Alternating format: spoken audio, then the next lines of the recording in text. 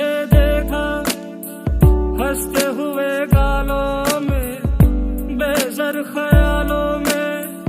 हुस्न